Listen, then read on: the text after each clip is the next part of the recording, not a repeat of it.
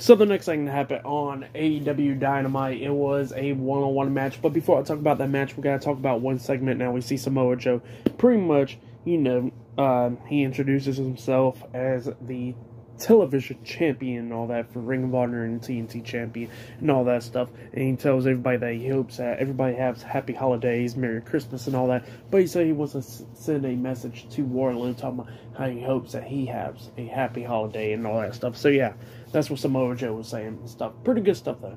But then after that, we see the next one-on-one match. It was Hook versus.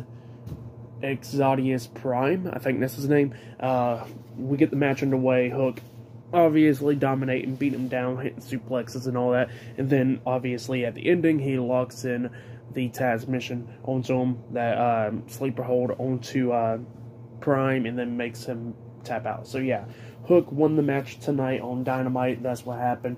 For that match, I'll give it uh, one star. That's why I'll give it. It was pretty quick and stuff, obviously. So yeah, that's what happened there. And then after the match ended, we see a segment that's going on backstage where we see Stokely Hathaway. He's calling out Hook. He's on the big screen and all that. Hook is staring at him, and then we see in the background that uh, Big Bill and uh, Lee Moriarty is attacking Jungle Boy, beating him down and stuff. And then we see Big Bill hitting a chokeslam onto Jungle Boy into the dumpster, and then they threw trash on him. So yeah, that's what happened there. And then Hook gets out the ring and he starts walking backstage.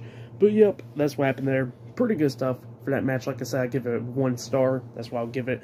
But up next, we got the next match. It'll be Jon Moxley with Claudio Castagnoli versus Darius Martin one on one up next on Dynamite. So yeah, that match is going to be happening up next.